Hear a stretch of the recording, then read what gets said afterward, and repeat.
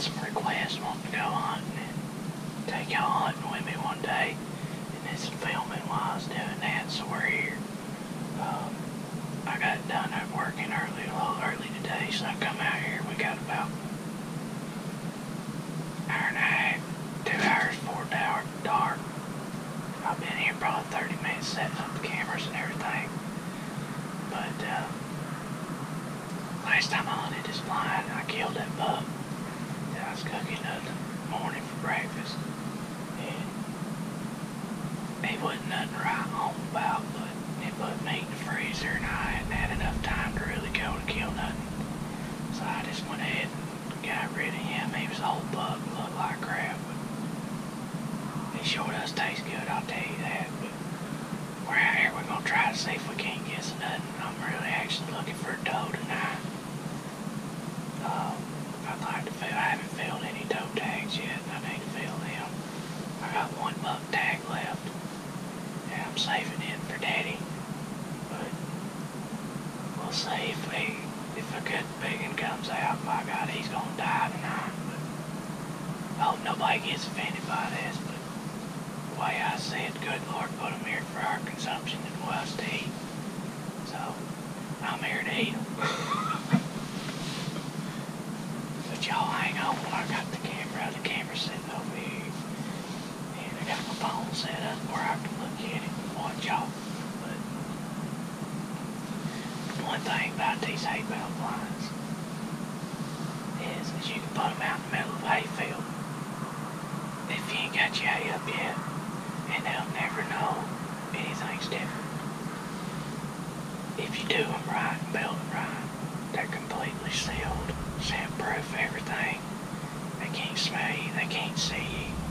They'll never know you're even there. And on top of that, if you insulate them, you can put you a little heater like that one in here. It's just like sitting at home in your house. So, I love this eight bell blind. I've killed more deer out of this blind than probably any other stand blind, whatever I've got. They're worth every cent. Now I built mine on pallets and then a floor underneath it. And then I got uh, wire panels for the outer part. I'll just show y'all there. Everybody y'all see it. Up in there. I don't know if y'all can see that. There's wire panels. And then I got plywood on each end. And then I run two by fours around to support it. And then I wrapped it in plastic sheeting for insulation and then it's covered with hay. And then on the inside here I've got these sliding windows. You can slide them, they're real quiet. It's just plexiglass. And I found these little trim pieces. You can find these in, all, in the Lowe's or Home Depot in the trim section. And I don't know what the heck they are, but they work good for uh, window sliding uh, slides, and they're real cheap and easy. You just screw them up there and then slide that window in it.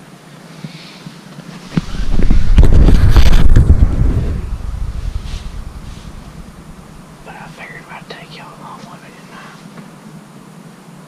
But let my arm out and let y'all see the outside a little bit see the field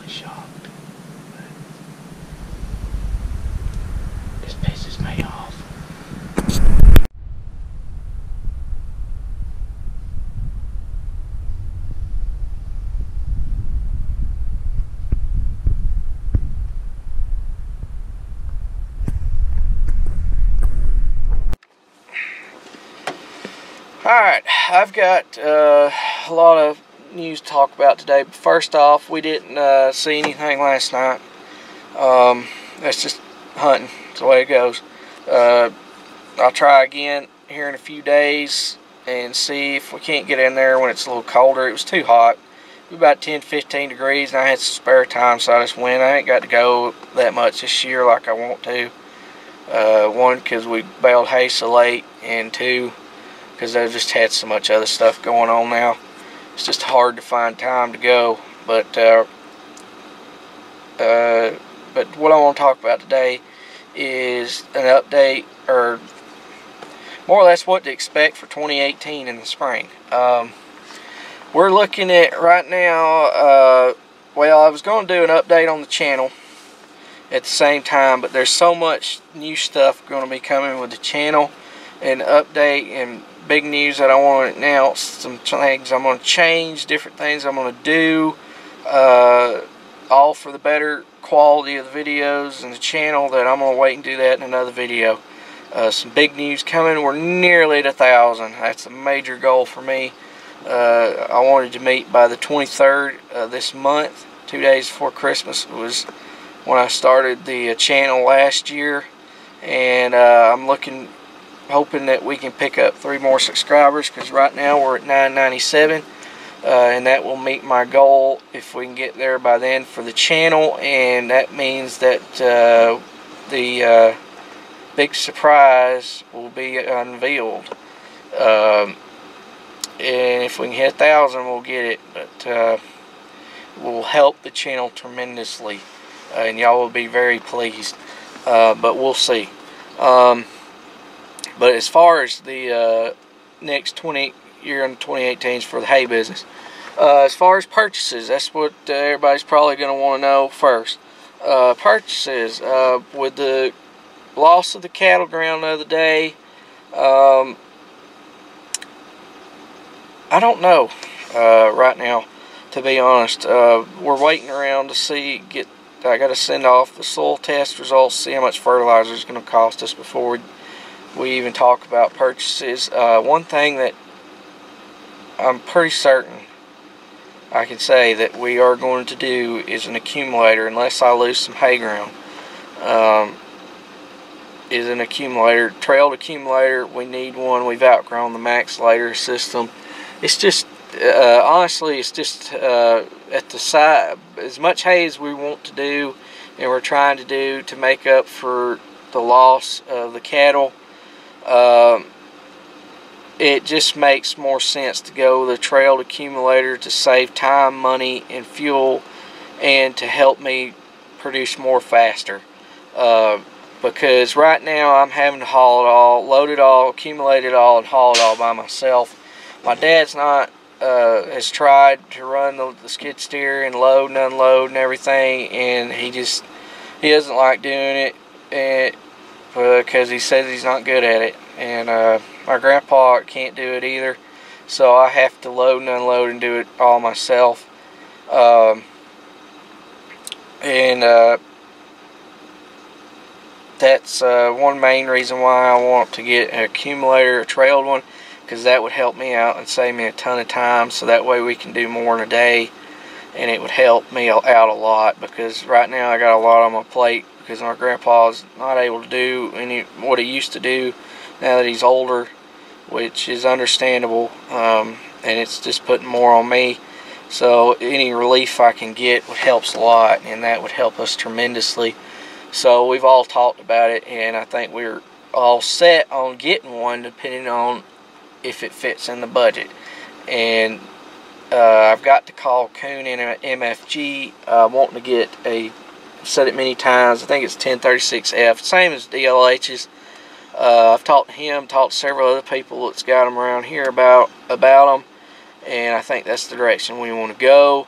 Um, I don't want a Hulsher or uh, another system with eight bale system like that. I don't like them. Uh, as far as the eight bale packs, I do not like them. Uh, the ten bale packs, they don't. I don't like the pattern they use. If they used eight straight and two sideways, uh, and you could still buy them new like that, might think about it. Um, but they don't. Uh, they just have the eight belt uh, straights uh, on the edge, and I don't like that. They don't load well. They don't uh, carry well. A lot of people's going to disagree with me with that, but uh, they don't as compared to the uh, 10 bale pattern with the two tie bells on the end flat. I found that's the best uh, way to haul and then be stable on the trailer and easiest way to tie down um, for me. Uh, a lot of people is probably going to disagree, but for me, that's what I like and that's what works. Uh, and that's why I will go that system. And it doesn't take hydraulics, so I can pull it with any tractor we've got, which is a plus. Um, and it just uh, helps tremendous. It's going to help us out tremendously. The only bad thing I've heard is uh, every now and then uh, you can have one to fall from the top and not go in like the slot like it's supposed to and fall out of the accumulator. Uh, which isn't a big deal to me. Uh, DLH, I talked to him quite a bit about that, and he said that uh, you can just pick it up when it comes out of the back of the accumulator and just stick it back in. And he said it, it does it very rarely, and it's not that big of a deal. Which he's on the same terrain I am, so I'm gonna uh, take his word for it. And I've talked to several other people that said the same thing. Um, around here. But uh, that's as far as around round baler purchasing. I don't see one in the spring. If it does happen, it would be late, maybe mid to late summer. Uh, I do want to try the Massey, new Massey baler. That's the Lely uh, or Welger design. I don't know when that's going to be here. Uh, I've heard that it's coming, and I've heard that it's not coming this year. So uh, maybe somebody from Massey that's on here uh, can let enlighten me a little bit on that uh, in the comments.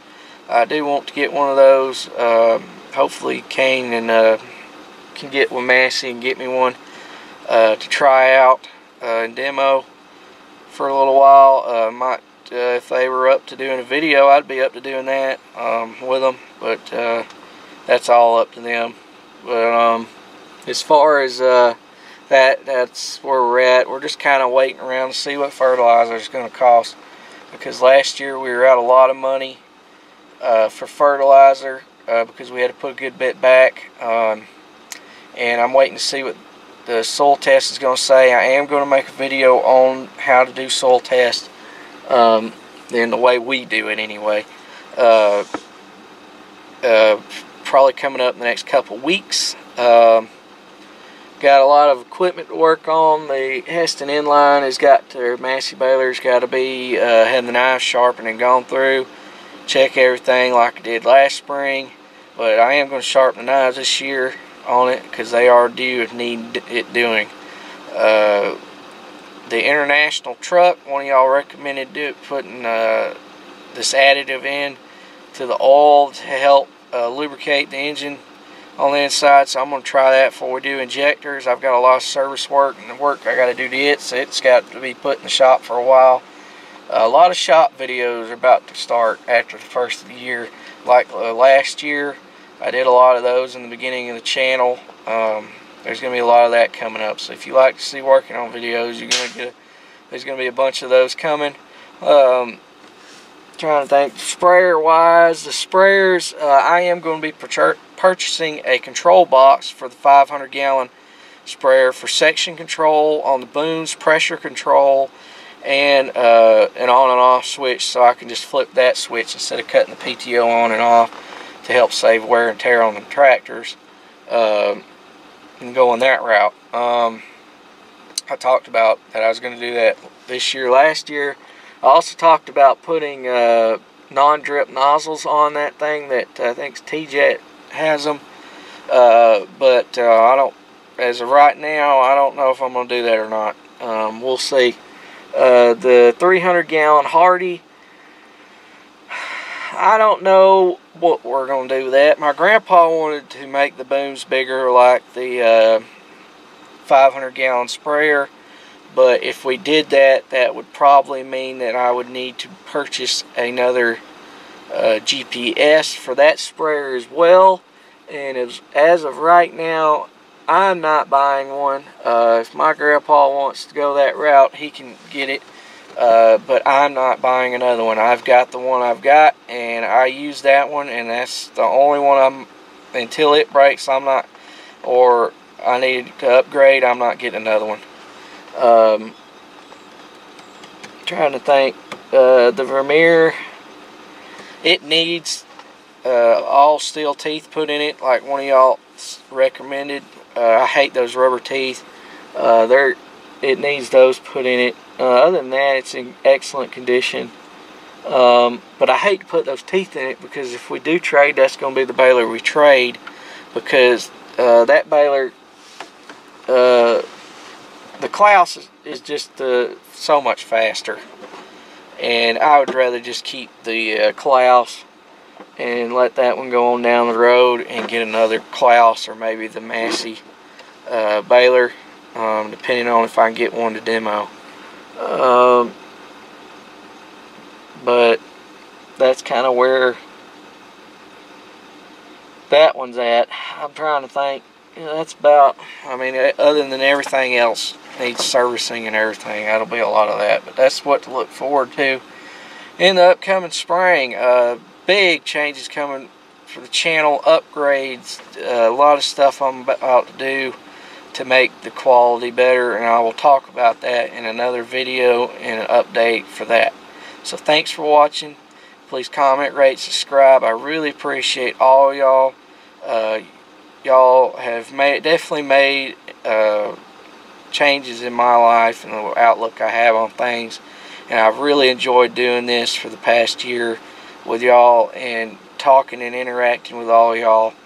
And it's made uh, a big impression on my life. And I just want to say thank y'all for that. Hope y'all have a good Christmas. Merry Christmas from Bagwell Farms. And I'll see y'all later.